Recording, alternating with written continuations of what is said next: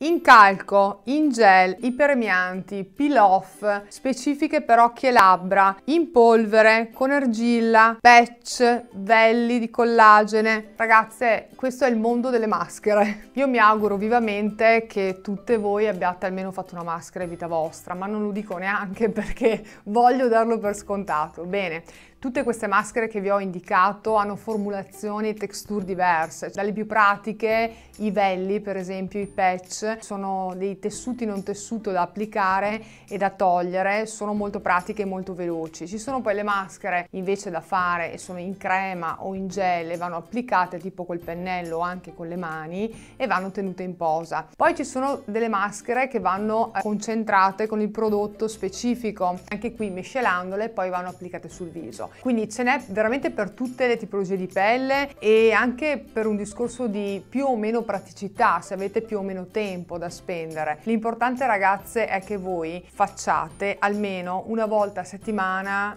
una maschera per il viso. Io ho fatto un video tempo fa dove vi parlavo di cambiare spesso il principio attivo. Qui vale la stessa regola. Ogni tanto cambiate la formulazione della maschera, cercate di almeno una volta a settimana dar da bere e da mangiare alla vostra pelle attraverso questo strumento importantissimo. Esistono poi delle maschere che potrete effettuare solo dalla vostra estetista perché sono ovviamente trattamenti da cabina e qui parliamo di calchi per esempio, di alginati, sono fantastiche, io le adoro, soprattutto il calco, crea una sorta di, di maschera che poi una volta tolta sembra quasi umana perché proprio è un calco che prende le forme dei vostri lineamenti. La particolarità qualità di questa maschera che personalmente faccio puntualmente una volta al mese nel centro estetico dove io vado è che è iperemiante quindi sotto tra la maschera e il viso si crea un calore che quindi crea una vasodilatazione e una stimolazione del microcircolo che è fondamentale. Gli alginati invece sono più gommosi, si tolgono a strappo anche questi però sono formulazioni in genere professionali che si trovano eh, nei centri estetici più che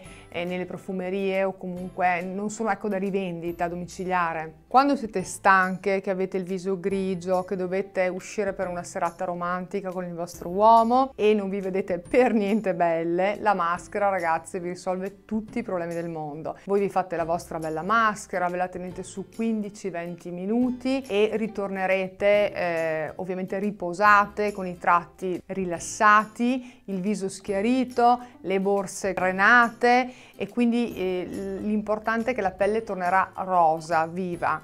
Questo è l'effetto che avrete facendo una maschera, quindi mi raccomando tenete sempre la maschera all'interno del vostro beauty, dei vostri cosmetici.